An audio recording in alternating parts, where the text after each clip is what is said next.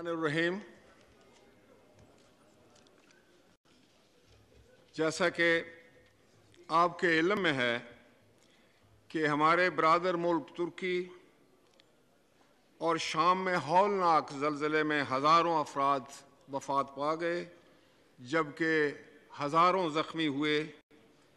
ترکی نے ہمیشہ مشکل وقت میں پاکستان کا بھرپور ساتھ دیا۔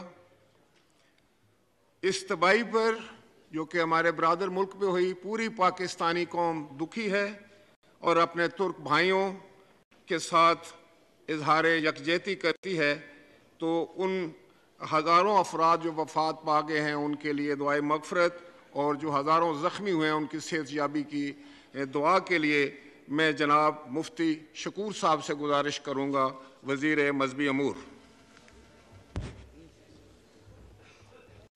الحمد لله رب العالمين. الرحمن الرحيم مالك يوم الدين. إياك نعبد وإياك نستعين. اهدنا الصراط والمستقيم صراط والذين أنعمت عليهم غير المغضوب عليهم ولا الضالين. بسم الله الرحمن الرحيم. قل هو الله أحد الله الصمد لم يلد ولم يولد ولم يكن له كفوا أحد. بسم الله الرحمن الرحيم. قل هو الله أحد الله الصمد لم يلد ولم يولد ولم يكن له كفوا أحد. بسم الله الرحمن الرحيم. قل هو الله أحد. الله الصمد. لم يلد ولم يولد ولم يكن له كفوا أحد. وصلى الله على نبي الأمي وعلى آله وسلم. اللهم اغفرهم وارحمهم. اللهم اغفرهم وارحمهم. اللهم أكرم نزلهم ووسع مداخلهم. اللهم باعد بينهم وبين خطاياهم. كما بعدت بين الشرق والغرب. اللهم نقهم من الذنوب كما ينقى ثوب الأبيض من الدنس. اللهم ابدل لهم ديارا خيرا من ديار الدنيا. اللهم ابدل لهم ديارا خيرا من ديار الدنيا. اللهم تقبل شهاداتهم. یا الہ العالمین ہمارے انتہائی قریبی دوست ملک مسلمان بھائی ترک میں جو زلزلے میں شہید ہوئے ہیں اسی طرح شام میں جو ہمارے دوست اور بھائی زلزلے میں شہید ہوئے ہیں، اللہ ان کو درجات عالیہ نصیب فرما۔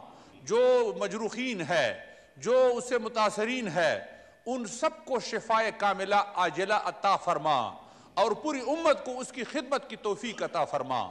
پسماندگان کو صبر جمیل عطا فرما۔ ہمارے پولیس کے جو شہدہ ہے، دوسرے ہمارے جتنے بھی شہدہ ہے، ان کو اعلیٰ علین میں مقام عطا فرما۔ اور ہم سب کو ان کے برسا ان کے بچوں، ان کی سرپرستی عطا فرما۔